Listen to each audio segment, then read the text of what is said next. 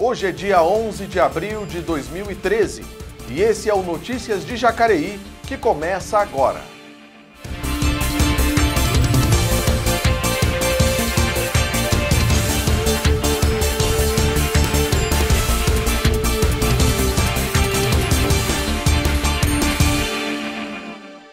Quem precisou do transporte público em Jacareí, hoje pela manhã encontrou dificuldades. Algumas linhas deixaram de circular pela cidade por conta de um protesto. Funcionários da JTU, empresa responsável pelo transporte na cidade, protestam contra a falta de segurança em alguns itinerários. De janeiro a março desse ano, foram registrados 27 assaltos, a maioria em linhas do Parque Meia Lua e Lagoa Azul, ambos na região norte. Nossa equipe entrou em contato com a prefeitura. Ela informou que irá se pronunciar por meio de nota, mas o comunicado não foi feito até o fechamento dessa edição. O Banco Central divulgou nesta quarta-feira o balanço do Índice Nacional de Preços ao Consumidor Amplo, que mede a inflação oficial do país. Nos últimos 12 meses, o IPCA acumulou alta de 6,59%. O percentual ficou acima do teto da meta, da meta de inflação estabelecida pelo governo, que era de 6,5%. A última alta registrada foi em dezembro de 2011, quando o índice atingiu 6,64. Entre os produtos que mais sofreram com a inflação está o tomate, o preço do produto aumentou, aumentou cerca de 122% nos últimos 12 meses. Ontem, o ministro da Fazenda, Guido Mantega, disse que o governo está atento em relação aos índices de inflação e que o Brasil vai crescer mais em 2013. Está crescendo a partir do último mês do ano passado e no primeiro trimestre deste ano o investimento está crescendo. Então, nós estamos é, caminhando em direção a um crescimento maior em 2013 do que 2012, né? e é um crescimento sustentável que vai prosseguir nos próximos anos. Portanto, o cenário é favorável para o Brasil. É, nós temos que levar em consideração que a economia internacional continua em dificuldades, talvez esse ano um pouco menos de dificuldades do que o ano passado, e nós temos que aproveitar as oportunidades que se colocam. Em relação à inflação, é, nós estamos atentos à inflação, porque ela é prejudicial a toda a economia brasileira, é prejudicial aos trabalhadores que pagam produtos mais caros, prejudicial aos empresários, porque têm dificuldade de calcular custos e de viabilizar os seus projetos. Mas a boa notícia é que a inflação de março, o IPCA de março foi menor do que o de fevereiro e menor do que janeiro. Então nós estamos com uma trajetória de redução da inflação. Vereador Edinho Guedes quer iluminação nas proximidades da Unip. Rose Gaspar quer casamento comunitário em Jacareí. Ana Lino pede manutenção em bairro da cidade. Fique por dentro do que acontece no Poder Legislativo agora, no Giro de Notícias.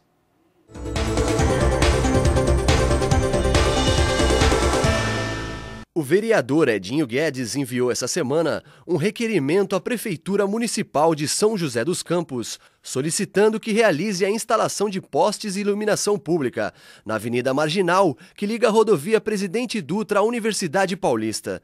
Segundo o presidente da Câmara de Jacareí, além dos problemas de mobilidade que os alunos já sofrem ao entrarem no prédio da universidade, aqueles que utilizam o transporte público ou chegam ao local a pé o fazem em condições inseguras, em razão da falta de iluminação.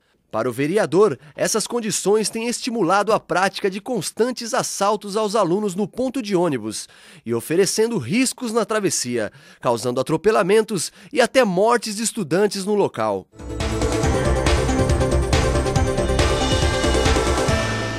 A vereadora Rose Gaspar enviou essa semana um requerimento à juíza Maria Auxiliadora Costa, solicitando estudo e medidas necessárias para viabilizar a realização de casamento comunitário na cidade. Segundo a parlamentar, a medida irá beneficiar inúmeros casais que vivem juntos extraoficialmente e não possuem condições de arcar com os custos para a oficialização do casamento. A vereadora Ana Lino fez indicação ao prefeito de Jacareí, Hamilton Mota, solicitando manutenções no bairro Cidade Jardim, Jardim Terras da Conceição e Jardim Flórida. No Cidade Jardim, a vereadora pede a realização de tapa-buracos em toda a extensão da Avenida Carlos Frederico Werneck Lacerda. Já no Jardim Flórida, Analino solicita a recolocação dos bloquetes do calçamento da Avenida Mississippi, em frente ao número 225. No bairro Jardim Terras da Conceição, a parlamentar solicita capina e limpeza de toda a calçada dos locais de entrega voluntária da Prefeitura, localizado na Avenida Alfredo de Moraes, esquina com a Avenida Presidente Humberto de Alencar Castelo Branco.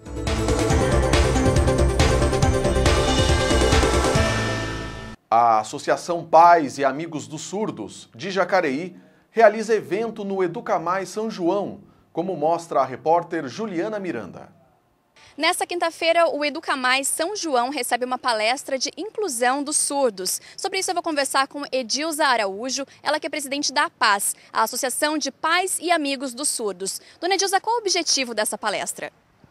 É, nosso objetivo é mostrar para as pessoas né, o quanto é importante a inclusão dos surdos aqui na nossa cidade, né? É, falar sobre preconceitos e tudo mais, né? Queremos também mostrar assim é, como que, que vamos fazer para incluir os surdos no mercado de trabalho. Vai ser um debate muito legal. Quem pode participar? todas as pessoas, surdos, ouvintes, é, queremos convidar todos para estar participando dessa palestra. A entrada é gratuita? Entrada gratuita para todos. Tá certo, dona Dilza, muito obrigada pelas informações. Se você quiser participar dessa palestra de inclusão dos surdos, esteja hoje, quinta-feira, no Educa Mais São João, a partir das 7 da noite. Juliana Miranda para a TV Câmara Jacareí. Veja a seguir: público literário ganha presente no mês de aniversário de Jacareí. E a campanha de prevenção de sífilis e HIV termina essa semana.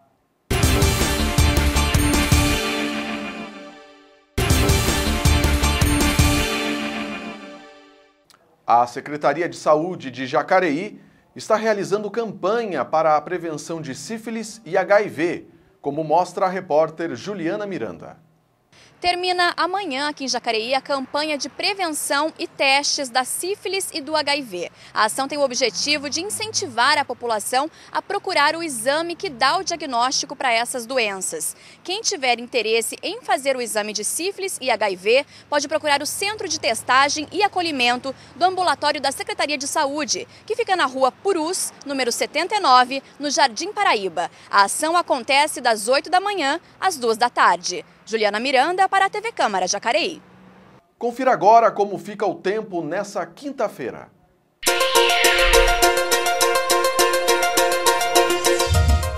Hoje o dia fica nublado em Jacareí e a probabilidade de chuva à tarde é de 30%. O sol deve aparecer em poucos momentos. A temperatura mínima será de 18 e a máxima de 26 graus. Amanhã o céu varia entre nuvens e sol. A probabilidade de chuva fica em 5%. O termômetro deve registrar variação entre 19 e 28 graus na cidade. Educação para o trânsito. Confira os locais dos radares móveis em Jacareí nessa quinta e sexta-feira. Confira o local do radar móvel nesta quinta-feira. Ele estará posicionado na Avenida 9 de Julho, no centro, na Avenida Lucas Nogueira Garcês, no Jardim Nova Esperança, na Rua Bom Jesus, no Cidade Salvador, na Rua Anésia Rusto, no Jardim das Indústrias, na Avenida Presidente Humberto de Alencar Castelo Branco, no Rio Abaixo, e na Avenida Ademar Pereira de Barros, no Parque dos Sinos. Amanhã, o equipamento estará posicionado na Rua Tiradentes, no centro, na Rua Padre Eugênio, no Jardim Jacinto, na Avenida Dom Pedro I, no Parque dos Príncipes, na Avenida Elmira Martins Pereira, no Alto de Santana, na Avenida Lucas Nogueira Garcês, no Jardim Nova Esperança, e na Avenida Alex Dark, no Conjunto São Benedito. Entre as comemorações de aniversário de Jacareí, uma chamou a atenção do público literário. Na última sexta-feira, a cidade ganhou mais um presente. São 28 anos de histórias em Jacareí. Esse livro são poemas que eu fiz aqui nesta cidade, contos poéticos, que eu fiz em agradecimento a Jacareí.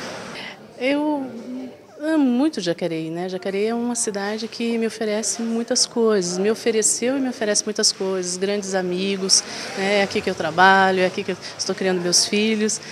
Esta é a terceira publicação da autora ao longo da sua carreira. No livro tem 44 poemas, entre poemas e contos poéticos. E a inspiração para este novo livro é quem dá nome para a própria obra. É o IP que está à minha janela na Câmara Municipal de Jacareí.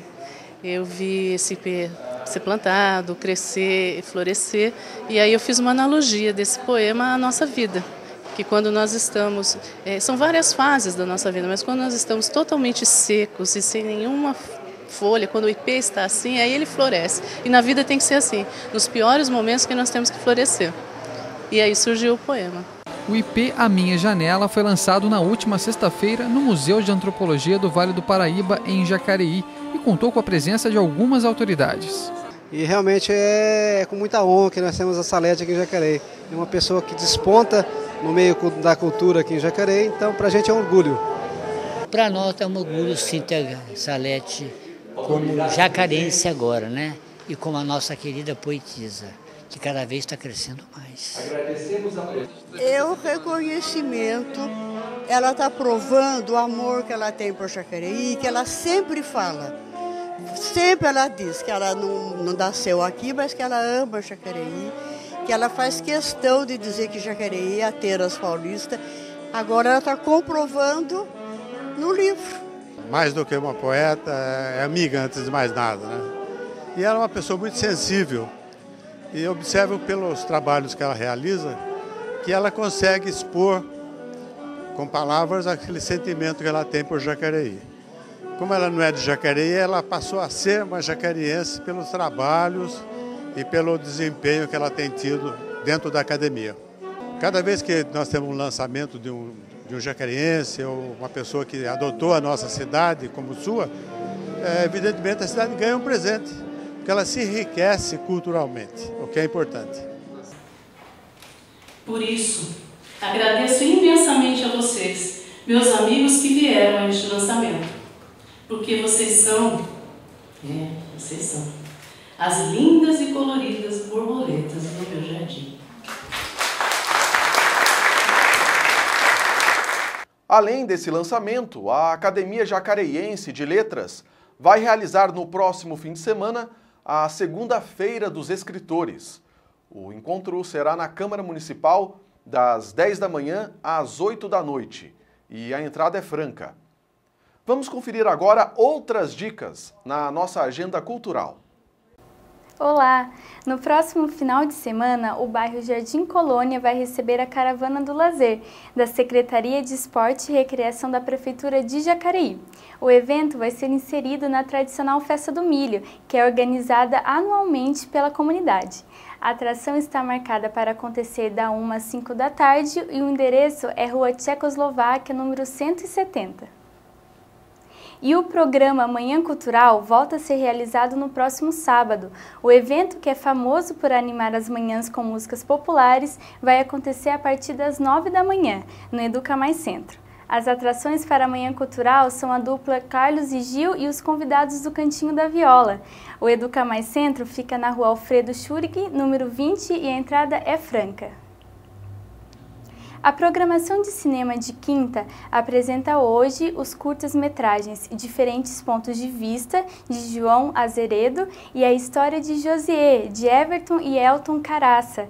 Além disso, a programação também conta com a exibição do longa-metragem Desafiando os Limites, de Roger Donaldson. A sessão começa às 7 horas da noite na Sala Mário Lago com entrada franca. E a Secretaria de Turismo do Estado de São Paulo divulgou as primeiras atrações da sétima edição da Virada Cultural Paulista, o maior evento cultural do interior de São Paulo. Aqui na região, o evento acontece na nossa vizinha São José dos Campos e em Caraguatatuba, no litoral norte. Em 2013, a Virada Cultural Paulista vai acontecer nos dias 25 e 26 de maio. Já estão confirmados os shows do cantor Marcelo D2 em São José e Arnaldo Antunes em Caraguatatuba. A programação completa da Virada Cultural Paulista pode ser acessada no site www.viradaculturalpaulista.sp.gov.br. A agenda cultural de hoje fica por aqui e até a próxima. O Notícias de Jacareí dessa quinta-feira fica por aqui. Para rever as reportagens dessa edição, acesse o nosso canal no YouTube. E você pode participar da nossa programação enviando sugestões de pauta para redação TV câmarajacareí.sp.gov.br. Até amanhã.